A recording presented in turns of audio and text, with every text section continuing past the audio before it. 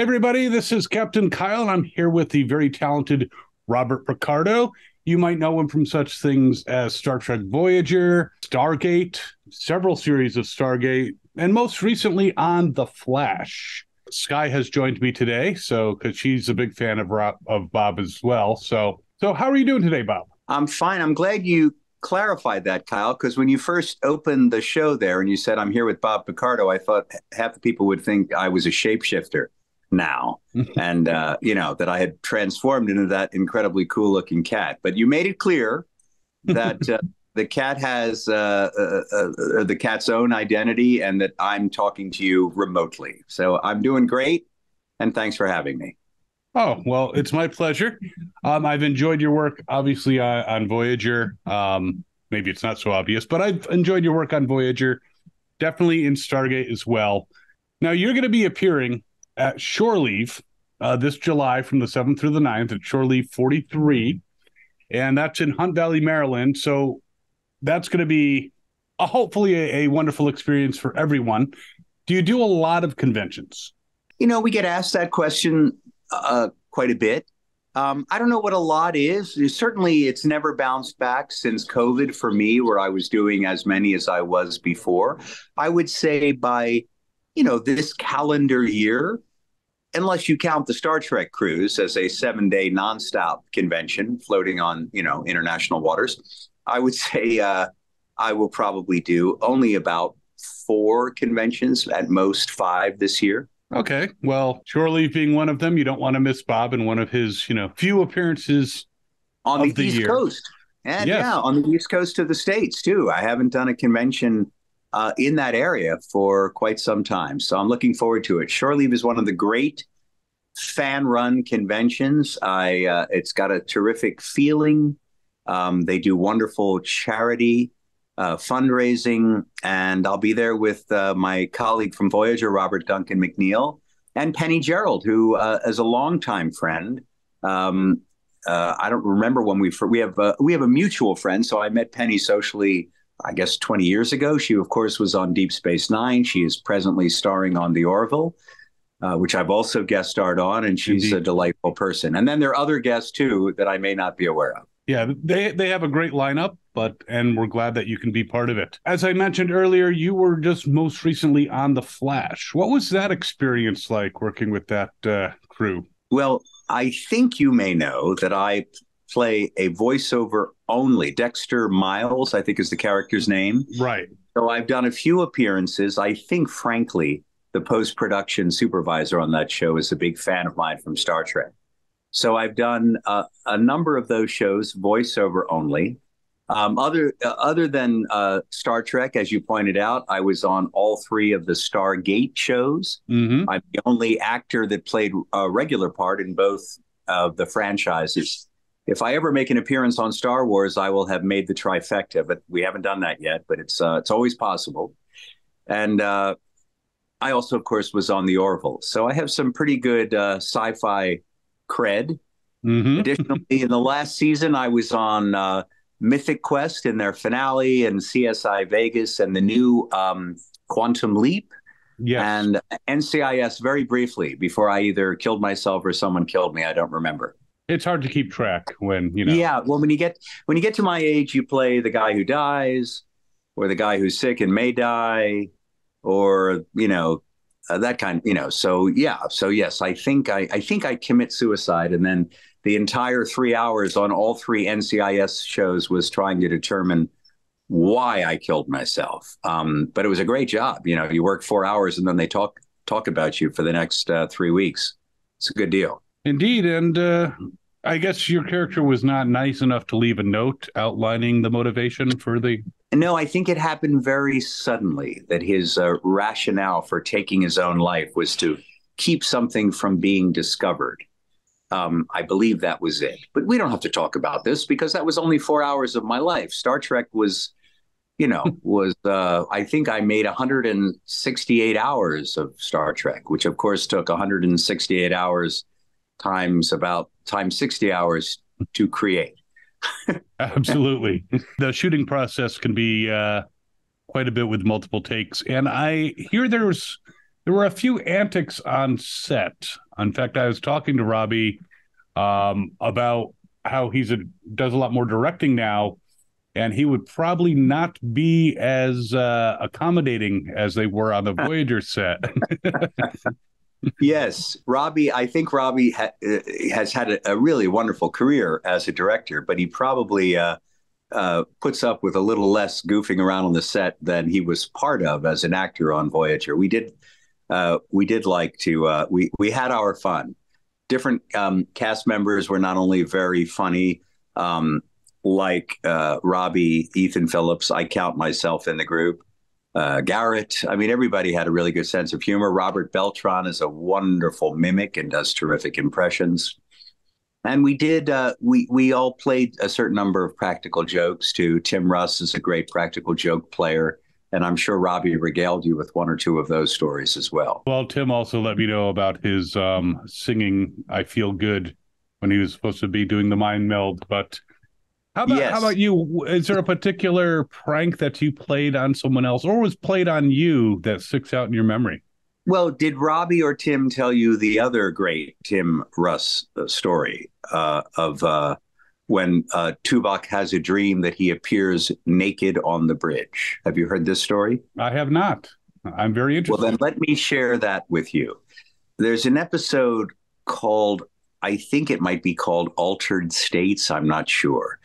Uh, and I don't remember the plot, but I do remember that Tuvok has a dream that he that he walks out of the turbo lift onto the bridge nude. Now, whenever an actor has a partially clothed scene, they get a little body make as makeup as needed or whatever, but they come to the set in a bathrobe, they rehearse in a robe, and underneath they have flesh colored briefs or G string or whatever. But what we didn't know is that Mr. Russ uh, had gone to wardrobe, gotten a long black knee sock, stuffed it, and then tied it over his flesh-colored briefs. so that when the director the director called action, Tim threw now the rea- it's a reaction shot on the eight of us, and and we only see um, Tuvok's naked shoulders step into the foreground of the shot, and we're all supposed to react to him being nude. Well, Tim, when he threw off the robe on action, he um, un he revealed, or should I say, unspooled his um, his uh, well, the doctor might call it a program enhancement. and of course, um, uh, my seven colleagues uh, burst into hysterical laughter. But I'm such a good actor, Kyle. I did not laugh because I thought, well, I'm his doctor. I've already seen it. Um, so uh, it was uh, it was a memorable a memorable uh, moment. And uh, I don't know in, in the present stage of enlightenment uh, whether Tim would still do something like that. But all castmates, male and female, and crewmates uh, got a big kick out of uh, Tuvok's. Um, as I said, well, let's let's put it this way. Um, it, his new his uh, he should say something like live very long and prosper. and I'm sure if he was that very long, he would quite prosper. Um, well, who knows? I mean, Vulcans they they have a very long lifespan, and apparently they have a uh, the other parts of the of the uh, anatomy follow suit. Right, though they only uh, get together every seven years or so, so right. I suppose so it should be real, memorable. Uh, memorable, it, right? But it seems like in the meantime, carrying that burden around. Well, never mind. We can go on to a new subject. Very nice. So when you were on Stargate, how did that compare to the antics? Were there similar antics, or oh yeah, there's a, a, a lot of uh, fun on the uh, Star Trek set, and and David Hewlett. There aren't that many actors who really can crack me up, and I work with some great actors. As a young man, I did a play on Broadway with Jack Lemmon, and Jack Lemmon would try to make me laugh in rehearsal, and especially even during performances in front of a Broadway audience. He did little tricks to try to crack me up. Um, but David Hewlett uh, would actually make me burst out laughing, which is not easy to do uh, while we were shooting sometimes. Uh, so uh, we we did have a lot of laughs on that set. Uh, the great thing about Stargate is it's science fiction, but it's set in a secret program in in the present. Mm-hmm. So they're not as careful with the language. In Star Trek, because it's set in an imaginary future, uh, 250, 300 years out. the writers are understandably protective of the words as written. They don't want you to make it at all colloquial. They don't want a chance that you're going to inject any, uh, well, at the time, late 1998isms or 1999isms that we were shooting on Voyager into their 23rd century dialogue. But Stargate, you know, we you could ad lib uh, once you once you shot the scene as written. I often said to the showrunner and the director, "Hey, is it okay if I try a different line or make a joke here?" And they would go, "Yeah, yeah, sure." Um, that was a freedom that we did not have on Star Trek unless we were spontaneous days in advance and had an idea for a joke. You called it in, got permission, and then they would put your joke or your changed line. If they liked it, it would be incorporated into the rewrite pages of the script. So on the day of, you shot exactly, and I mean exactly what was on the page. So, uh, but Stargate, it was a much uh, loosey gooseier experience. I don't know that spontaneous on the set of Voyager was actually the word. If you have to plan it several days in advance, not the spontaneity loses its. Uh, well, its spontaneity. that was my that was the irony of my comment. Yes. Uh, yes. uh, the way I usually frame it, and the joke is clear, is I say it's fine to be spontaneous on Star Trek as long as you're spontaneous five days in advance. When I lay it out that way, you get the fact that I was being ironic. There, there, yeah, spontaneous. I, I kind of caught that, but you know, I, I wanted to make it clear because you know, hopefully, other people will be watching this and and coming to Shore Leave. Um, I hope so. Uh, you really have to see me in person. I want to say that to your audience right now. You can't quite enjoy or appreciate my extraordinary physical beauty unless you see me in person in uh, in Maryland. Uh, that's you know. Otherwise, I just look to you the way I do now, which is not bad. But you should see me in person. I'm uh, positively uh, uh, like a celestial body radiating.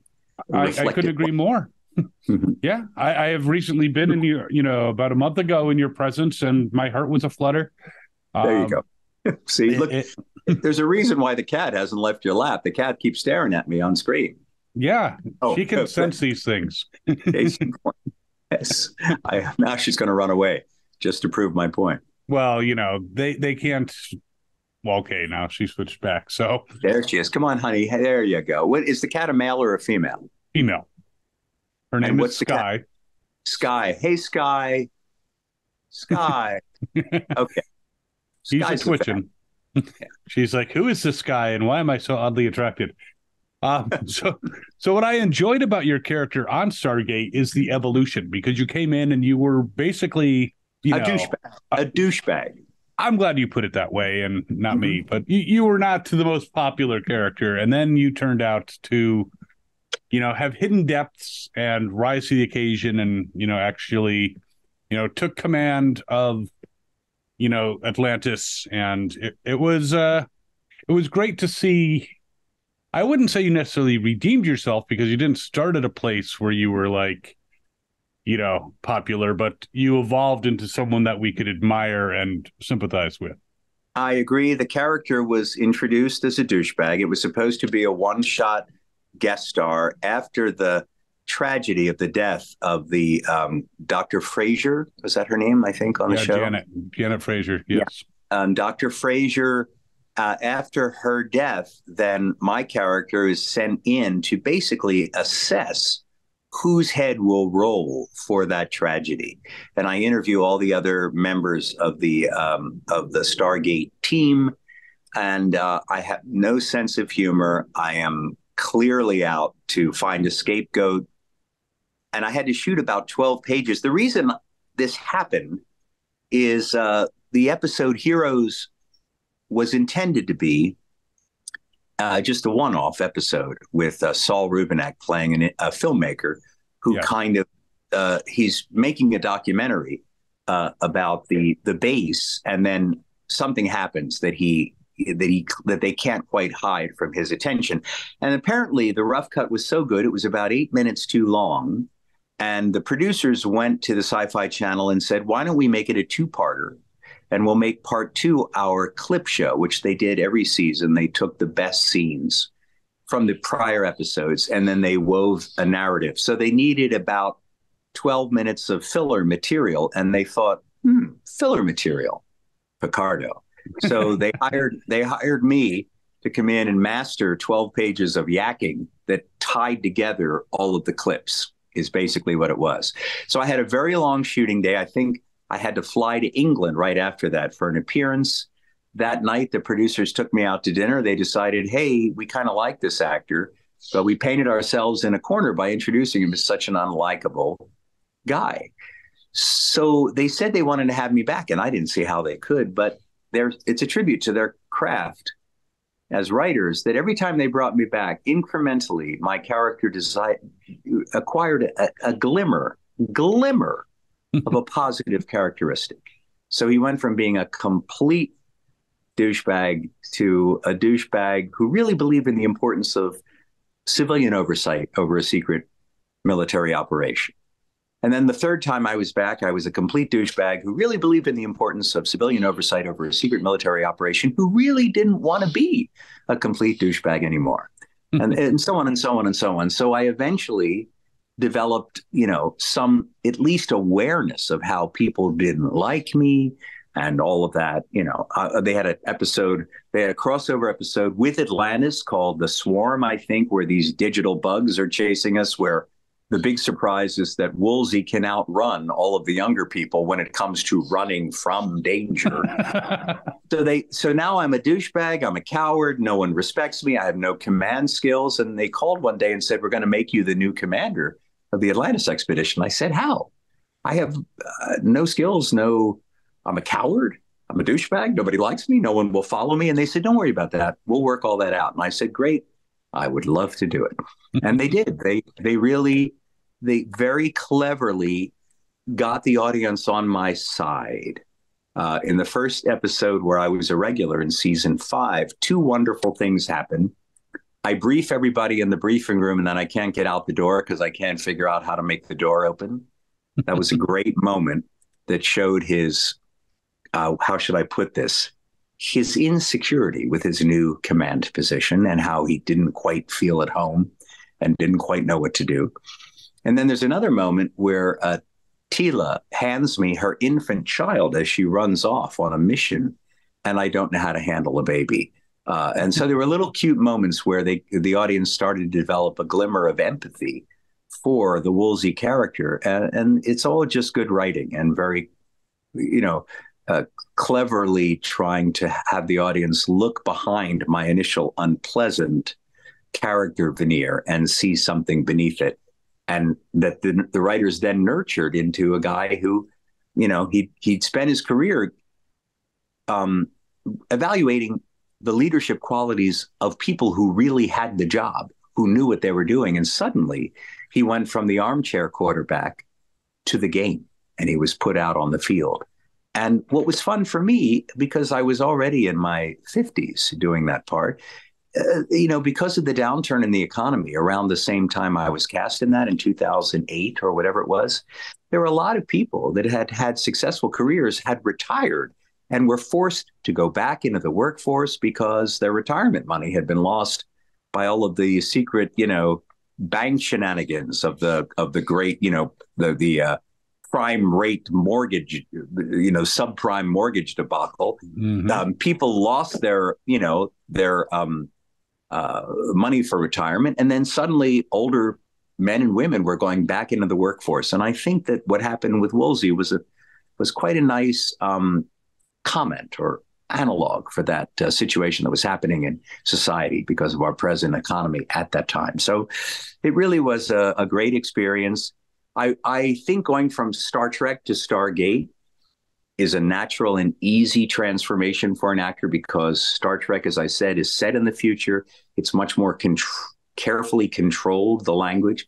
Stargate is a little looser. I think it would be harder to go from Stargate to Star Trek because, you know, you would be used to all this freedom that you suddenly didn't have anymore.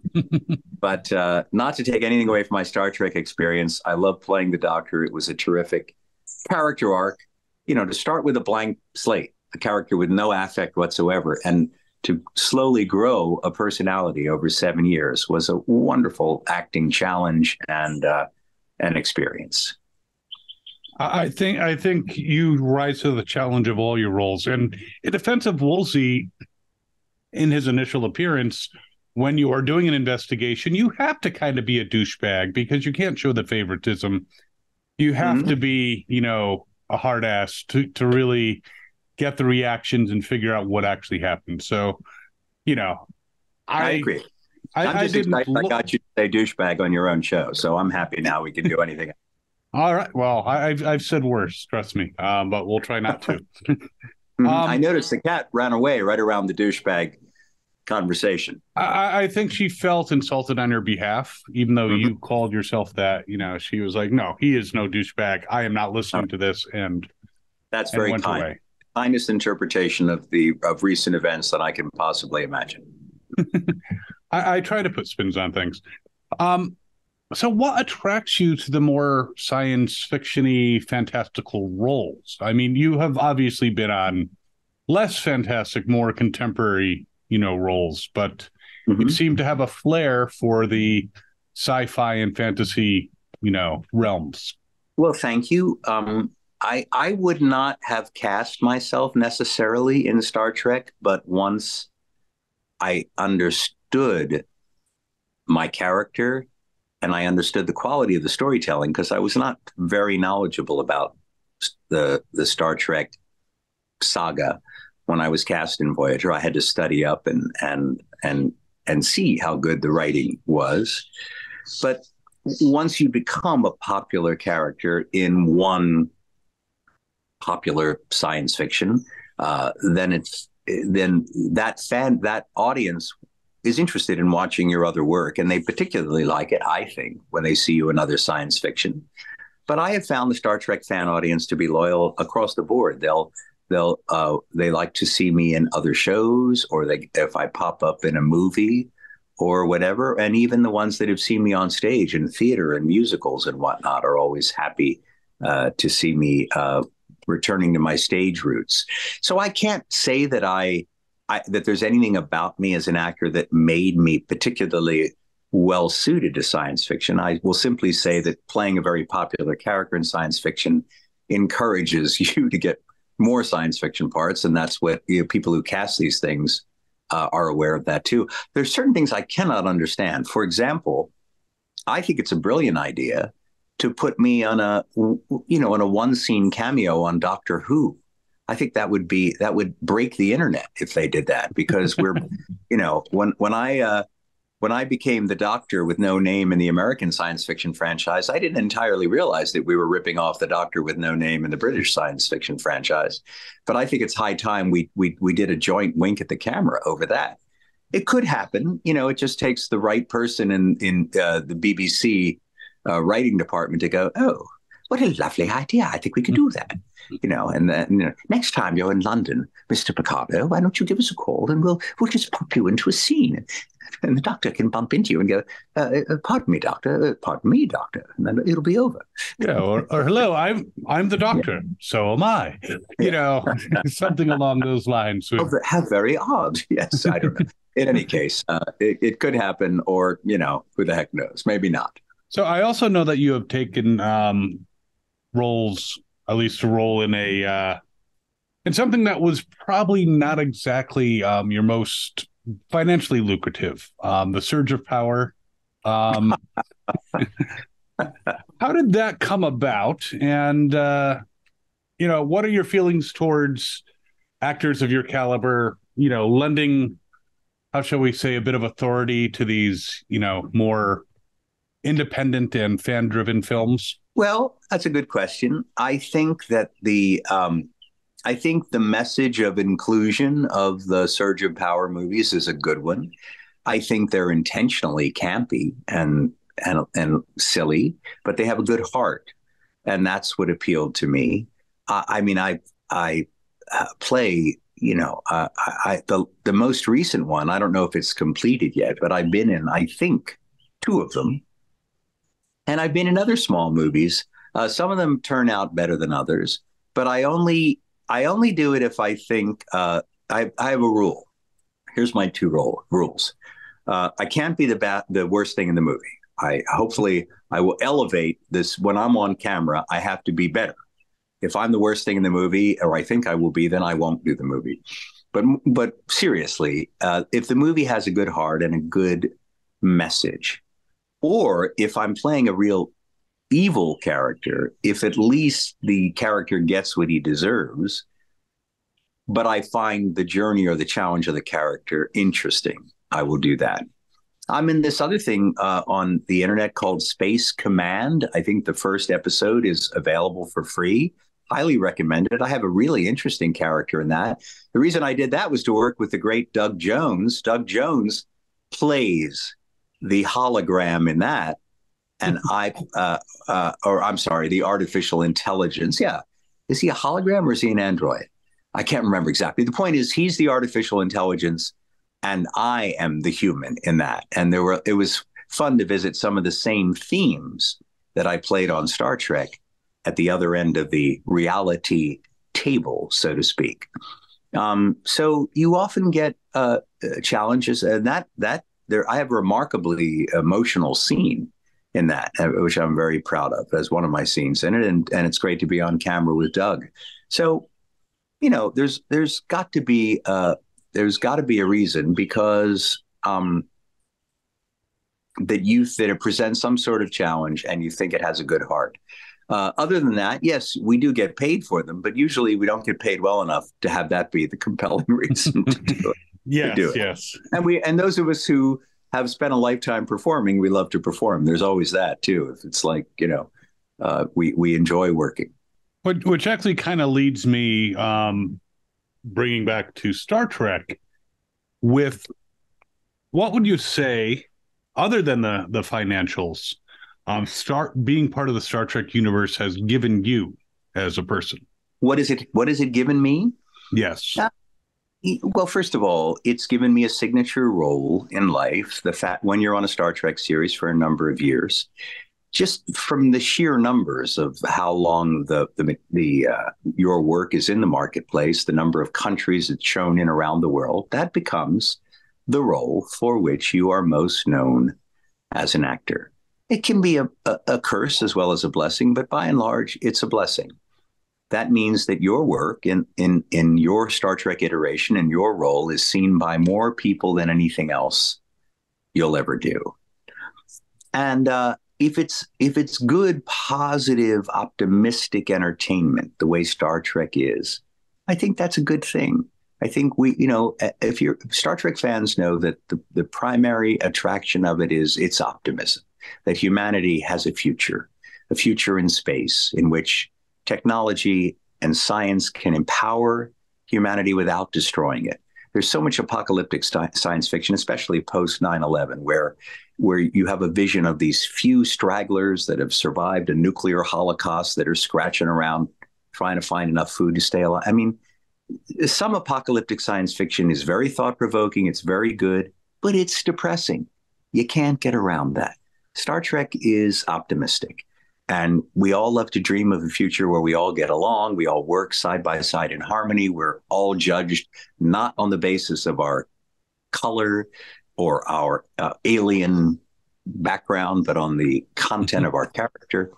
And most importantly, S- Star Trek posits a world where learning, gaining understanding of our place in the universe is important enough to go out and explore. We're not out looking for, you know, cheap materials for car for electric car batteries or cell phone batteries. We're out there trying to understand what it means to be human, and understand our position in this glorious universe that we live in. So, those are all positive reasons to love Star Trek. So, I'm proud to be part of the franchise.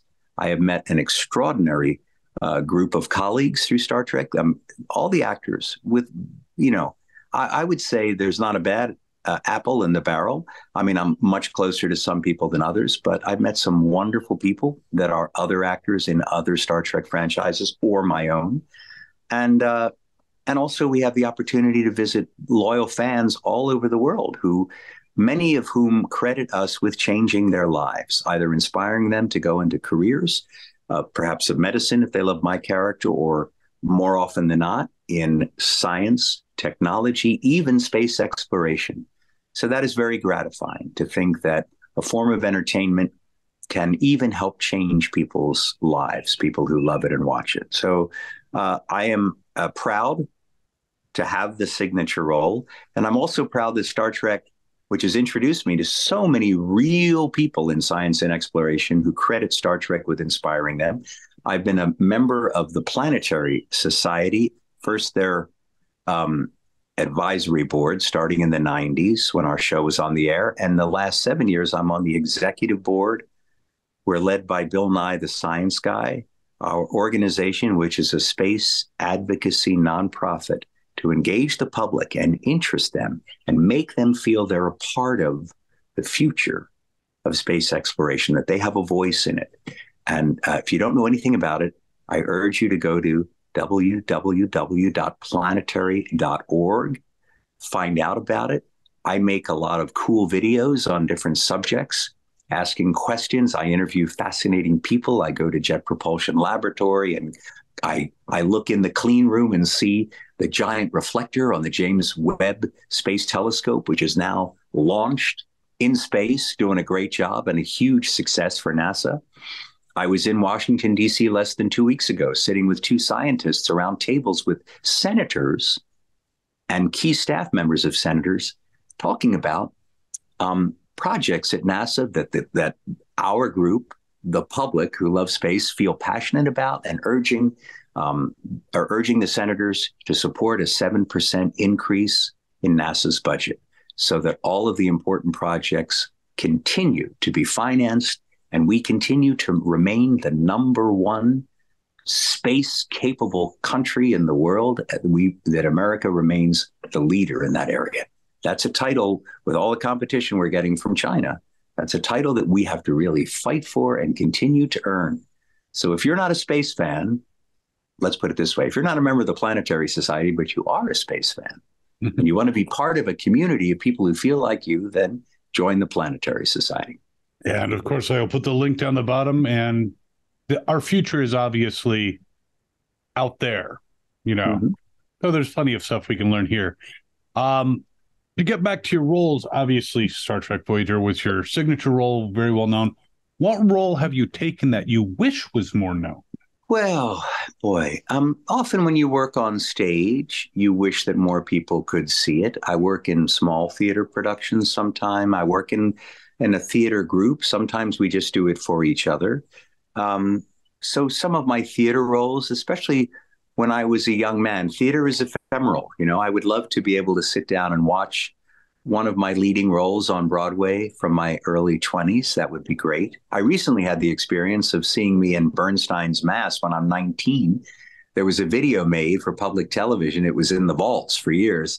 And for a while, it popped up on the internet. So I got to see myself singing and dancing with a giant self grown head of hair like this, this big, um, uh, at age 19.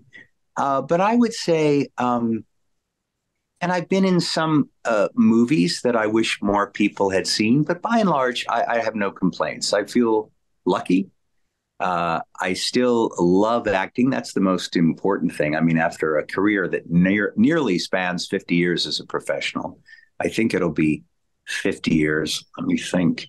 Uh, in three more years, I will hit the half century mark as a professional actor. Uh, the fact that I that I still love doing it is really um, uh, a source of joy uh, to me, and I feel very grateful um, to God uh, to my family for still encouraging me, and for the amazing group of colleagues I've met as an actor, and also for the fans out there who enjoy my work. Let me know they enjoy my work.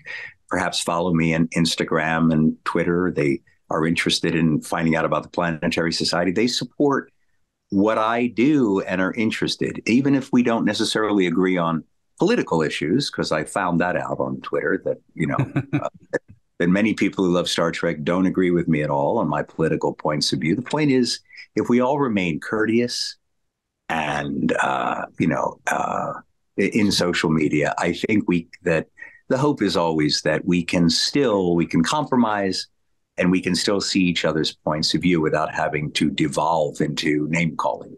Indeed, indeed. Uh, is there anything new that you can share with us that you're working on? Um, Ooh, Keyword, um, can you share? uh, um, well, let's see this. I recently, I just got back from shooting a short film in uh, New York, playing uh, a sociopathic uh, therapist. Um, short films, uh, often they're young directors that are very talented that want to get considered for feature work. Um, so that short film is called Dispatchment no idea when it will be done, but they can. If you check on my social media, you'll find out in the future. Uh, I had a great, great fun working on a Hallmark Christmas movie. I love Christmas movies. I've been in them before, um, earlier in the year, and that'll premiere late this year. Um, and other than that, um, there there are always things in the offing um, that uh, could happen and might happen, but there is uh, absolutely nothing definite that I could share. I will say this it was very gratifying to me how successful season three of Star Trek Picard was. And what it did was not, and it's a great credit, not just to the wonderful actors from the next generation, but it's a big credit to Terry Matalas, the uh, showrunner producer, who was an assistant to Brannon Braga, our producer on Voyager in his 20s. Uh, he did a terrific job crafting a very emotionally satisfying finale, and it also showed, I think, the uh, it showed Paramount that there is a passion among the fan base to still see the legacy Star Trek actors. You know, even though we all got older, like everybody does. Mm-hmm. And that I thought uh, I thought that was really good for the franchise. That a rising tide rises raises all boats. So I think the franchise is in very good health um, you know, with uh, the two animated shows and the three live action shows, even though Discovery's now come to an end. So I think it's in great shape, great shape. And there's always the chance that the old faces will pop up again. But absolutely nothing. Don't read into my words because there ain't nothing definite. right. Just uh, just pray to uh, whatever entities Oh, just keep writing letters. Just keep saying, I love seeing these old guys in their 60s and 70s. We love them. right. But you, it's amazing you've had a 50 year career. And what are you like, 43 now?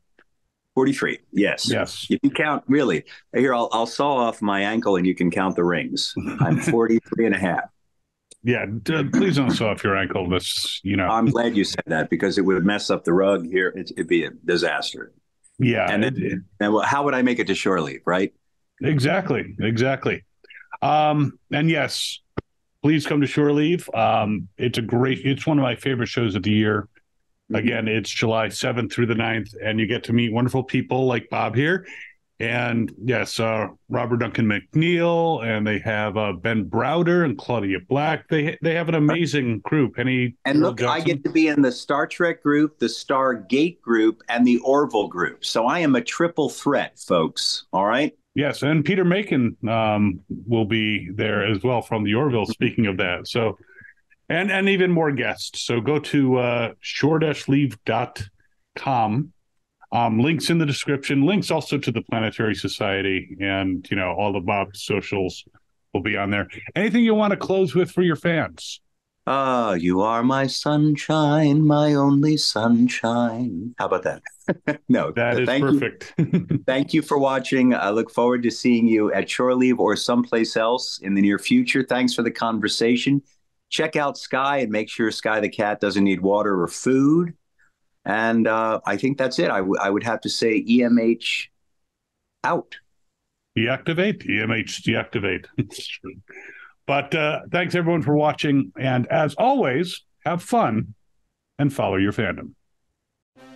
Hi, this is Bonnie Gordon, and you're watching Fandom Spotlite. Make sure to like and subscribe before the self destructs in five, four, three, two, one. Just kidding. Have fun and follow your fandom.